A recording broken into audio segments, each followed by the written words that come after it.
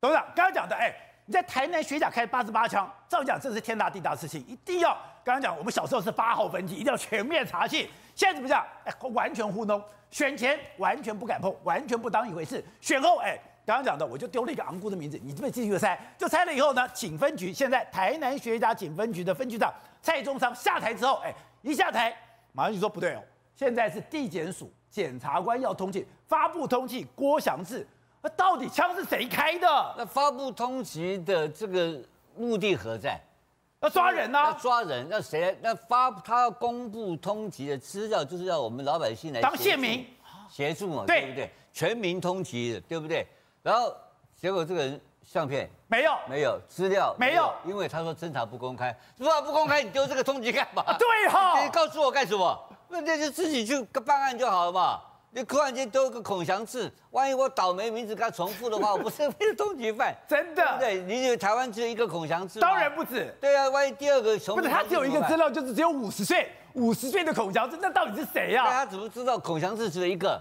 他怎么飞？他凭什么知道？对，所以这个又是另外一个跟前面这个昂姑的做法是一模一样。怎么一模一样？在塞就是故意应付媒体嘛，都在忽悠我们，都是忽悠媒体嘛。他为什么这好？为什么一直讲压力很大嘛？很简单嘛，因为这个涉案的被害人是有利人士嘛，他是民主、民主、民进党的台南市选出来的中央执行委员嘛，对啊，郭在清嘛，蒜头清，我在这边讲了一万次了嘛，这个蒜头清他就是涉案人啊，对，他也去，现在检，我据我了解，检察官拦检也把他调约约谈啊，可他无辜，他说我是被害者啊，被害人，可是这个东西就是恐吓取财嘛。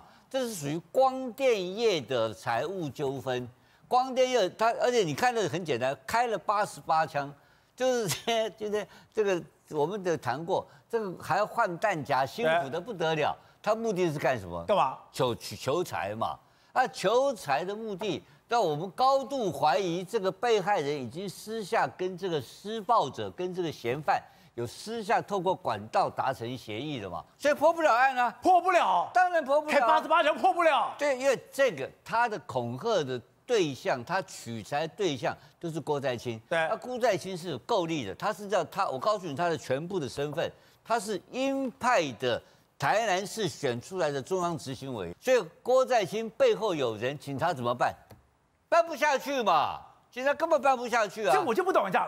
以前照理讲，你地方办那么大的事情，这么大的事情你地方办不了，那中央可以介入啊，中央有刑事警察局啊，中央有霹雳小组啊。所以我刚刚已经讲了，可是他的力量是跟中央是连接的。今天的台民进党的麻烦，所谓的黑道，所谓的治安问题，你看到那些立法委员在谈选罢法修法，那都是虚招嘛。我现在请问你，民进党所谓在中央级的有力量的，所谓有黑道力量的人，有没有人是选举出来的？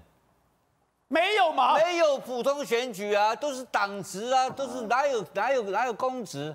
他力量来自于哪里？所有的人里面真正够力的人，所谓的鹰派的要角里面，哪一个人是经过中央地方选举？没有选举，没有民代，你知道吧？没有立法委员，没有议员。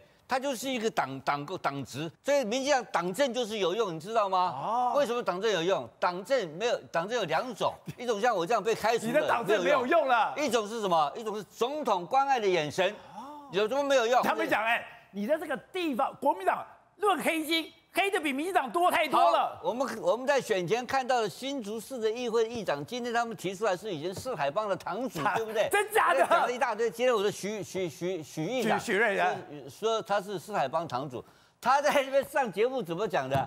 他说孬得很，憋得很，他连两万块都管不住，全部是您您之间一个人吃定的。四海帮堂主连两万块都不能决定，在新竹市，这个嘛叫黑道。这个什么黑道吧？黑道连两万块都没有办法。议会他说我是议会最孬的议长，所以不能让你得逞的，不能给你权利呀。对，你看他他是不是在议会？新竹市议会议长嘛，四海帮堂主嘛，他们讲的他是黑道。他说他是有史以来最孬的议长。那那这个叫做黑道，你看过这种黑道吗？所以很简单，民进党的黑道是从。上从中央开始搞黑道，你不要吓我。国民党搞黑道是搞地方的黑道，而且连两万块都不能决定，这个是什么样的政治架构？董事长，我闻到血腥味了。你知道，如果民党刚才讲的，罗志正什么？罗志正是一系的，许志杰新潮流系的，范云刚刚讲，哎，他这脸是这个孤鸟型的。如果三个人都这么讲，那真的就严重了。我觉得是开非常在这个早期的一个酝酿的一个阶段了哈，因为这件事情真正的核心的这个决策者其实是蔡英文总统本人啊。为什么这话怎么讲？因为他们是讲给蔡英文蔡英文听的。不是蔡英文谁用？不是陈明通谁用的？蔡总统用的。谁能够任免他嘛？蔡总统。蔡总统嘛。所以关键是第一个陈明通的任免问题。你今天以我是陈明通，我要去到立法院，我会非常痛苦啊。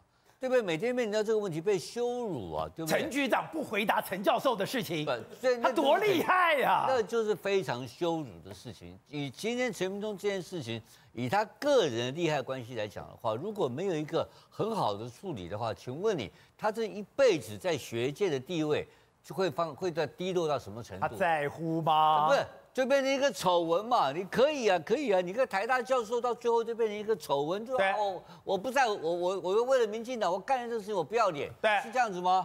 当然不是这个样子嘛。所以陈明通的这个历史定位，他的教授生涯的品的的道德定位的问题，这是一个问题，对不对？好，第二个问题，民进党到底对这件事情今天定性了没有？没有吗？当然没有啊，还没定性。哎，罗志正在讲要考虑陈明通的去留，许志杰讲陈明通应该先道歉后辞职，范云都讲，哎，你已经让知识界年轻世代对民进党我的信任危机，要赶快全面停止辩解，深切反省了。这也可以解释成他们三位先把这个事情的立场先撇清，以后以后被外面我碰到媒体压力的时候，哎，我已经讲过了啊，我已经表示这我的态度跟中央不一致啊，但是我没办法，对，可以这样子讲，对不对？但是我刚刚还是回到我刚刚谈的核心问题，和决策者是蔡英文嘛，对不对？一个是陈明通的教授的这个地位的一个未来的一个生涯的一个品质的这个一个未来的一个定位定位问题，对。然后第二个就是就是蔡英文，蔡英文到今天为今天为止有没有对林志坚抄袭案被取消学籍这个事情有改变态度？没有啊，没有，到今天也没有啊。相信志坚还不变吗？就像没有啊，他还要跟台大硬干呢。对，到我们的印象中还是停留在那个时间的那个坐标，所以你看到。郑文灿的答案是什么？郑文灿说：“哎呀，因为我有些瑕疵，是我对我的瑕疵的错误，我给予道歉嘛。那瑕疵到底是不是瑕疵？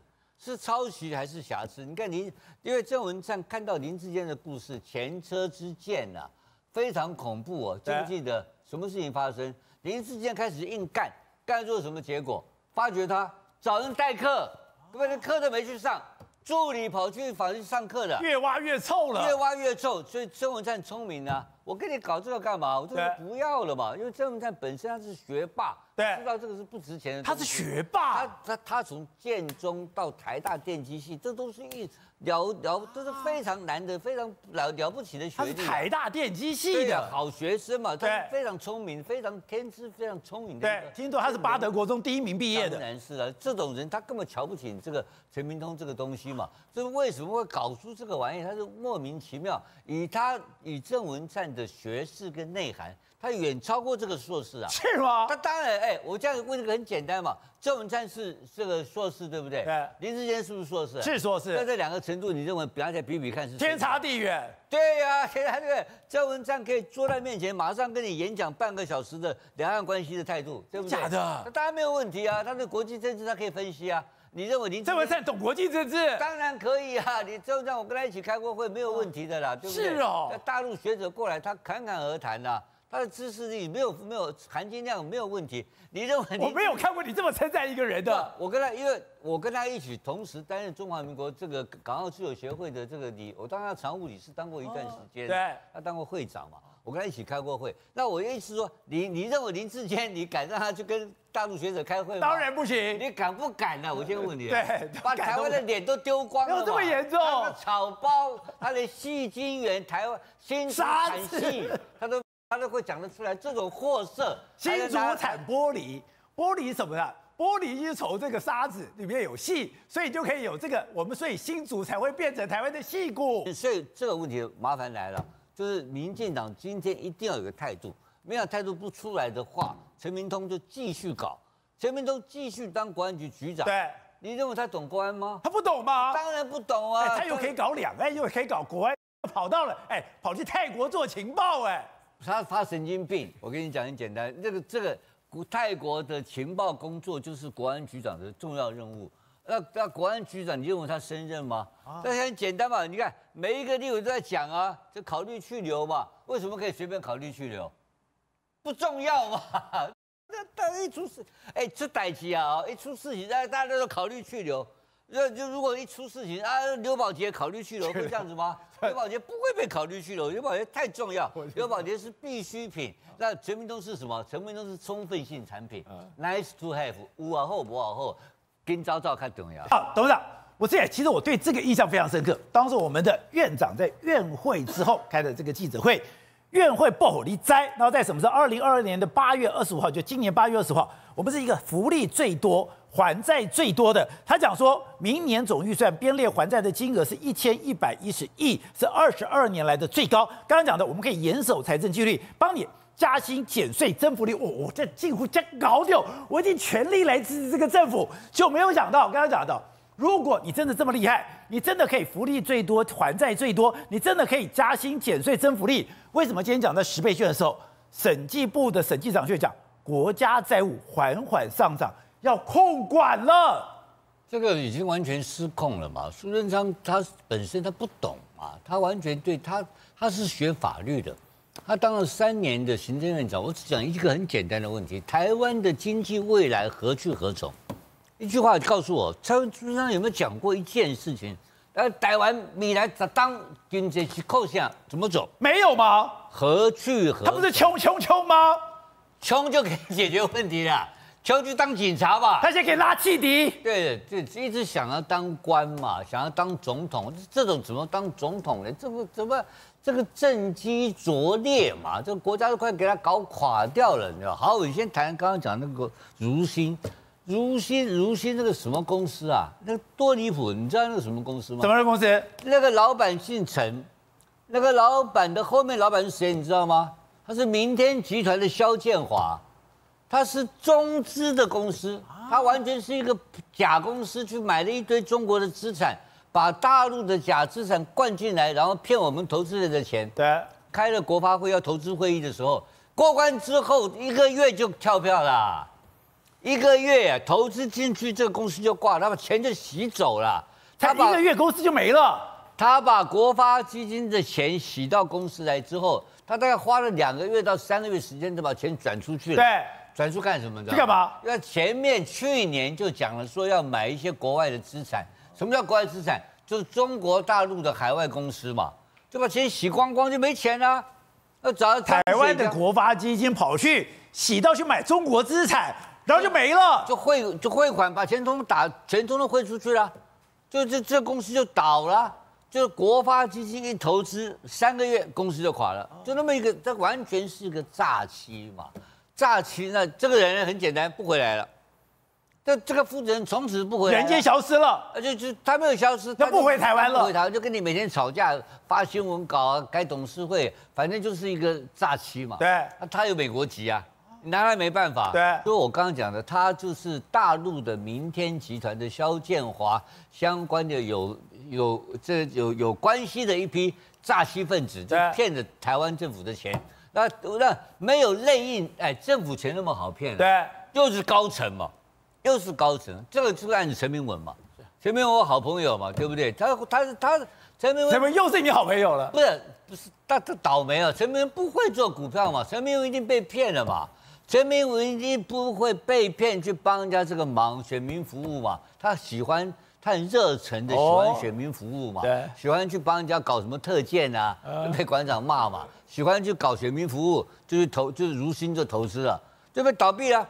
所以我讲意思说，这个政府的特性，包括从蔡英文到苏贞昌，他们干什么事？你知道？干什么？花老百姓的钱的水啊，花的花老百姓的钱呢？不眨眼。完全就当做他花的流一满满头大汗的花，每天流汗的，拼命花钱，花急得不得了。哎，小时候我妈最喜欢骂说：“你敢急动作拿卡，这么没用吗？他们也把我的钱做成拿卡。”当然是拿卡，那老百姓的钱，他是拼命浪费，拼命浪费，浪费简单买票嘛。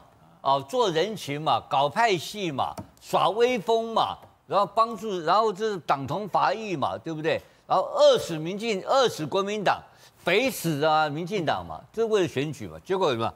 这个多行不义必自毙，怎么这么？搞了那么多钱，对不对？八兆负债负八兆负债，然后结果呢，这政权垮掉，哦，然后选了剩五加一、四加一，对不对？所以我讲什么意思？你知道没有，他讲说我明年还是很有信心，二零二四我还是很有信心啊。那可以有梦最美，希望相随。可是这个就是很简单，我只问一句话，结论一句话，请你蔡英文、苏贞昌告诉我一句话：我台湾的经济何去何从？明年靠什么？十年内我们靠什么赖以生存？只要回答一个问题就好。半导体啊，护国神山啊。好，那半导体护国神山，我告诉你多少就多少钱嘛？你的你的收支要平衡嘛？半导体护国神山总共一年就几千亿一两一一千多亿的收入到两千亿收入，那个我们的能够我们现在已经负债八兆了嘛？那这怎么搞呢？对不对？所以这个政府是完全没有能力经营这个国家的政府。